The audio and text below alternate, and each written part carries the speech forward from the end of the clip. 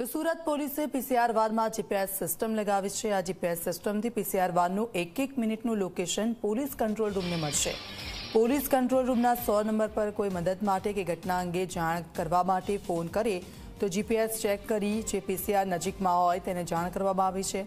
જેથી તે તાત્કાલિક ઘટનાસ્થળે પહોંચી શકે. હાલમાં છત્રીસ પોલીસ સ્ટેશનોના વિસ્તારોની ઓગણસિત્તેર પીસીઆર વાનમાં જીપીએસ સિસ્ટમ ફિટ કરવામાં આવી છે. સુરત પોલીસ કંટ્રોલ ખાસ કરીને સાંજના સમયે સૌથી વધારે કોલ આવતા હોય છે, જેમાં મારામારી અને ઘરેલુ ઝઘડાના કોલ શ્રમ વિસ્તારોમાંથી આવતા હોય છે.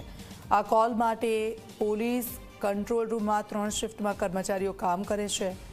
જેમાં એક શિફ્ટમાં ત્રીસ પોલીસકર્મી હોય છે, આવા ત્રણ શિફ્ટમાં નેવું પોલીસકર્મીઓ ફરજ બજાવે છે. સુરત પોલીસ અત્યાધુનિક કંટ્રોલ રૂમ બનાવે છે અને પહેલા કંટ્રોલ રૂમમાં પોલીસકર્મી કોલરનો મેસેજ લખતા હતા જો કે હવે આ સિસ્ટમ બદલી દીધી છે.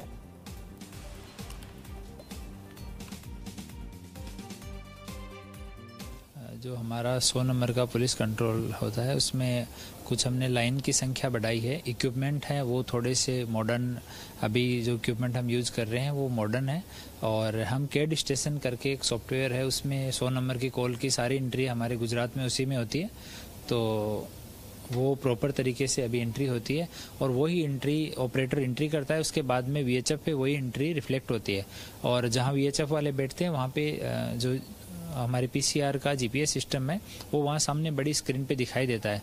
तो वो लोकेशन देख के और जो ऑपरेटर है वहाँ पे, वो जो नियरेस्ट पीसीआर है, उसको वो इन्फॉर्मेशन देता है। वो चाहे किसी भी पुलिस स्टेशन की हो, ज़रूरी नहीं है कि जिस पुलिस स्टेशन से कॉल आया, उसी की पीसीआर को भेजा जाए। किसी भी पुलिस स्टेशन की जो नज़दीकी पीसीआर होती है, उसको घटनास्थल पर भेजा जाता है। और ज़रूरत के हिसाब से अगर ज़्यादा पीसीआर की ज़रूरत है कॉल इस तरह का है तो आसपास की और पीसीआर को वहाँ इमीडिएटली डाइवर्ट किया जाता है।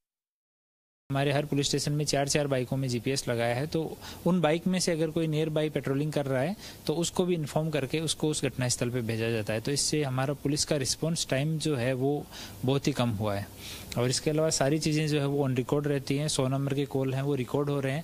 तो इन केस की किसी कॉलर को सही तरीके से रिस्पॉन्स नहीं दिया गया, या कोई डिस्ट्रेस कॉल है, उसको दोबारा से सुनने की ज़रूरत है, किसी विषय की बाद में जाँच करने की ज़रूरत है, वो भी सब सुविधाएँ हैं।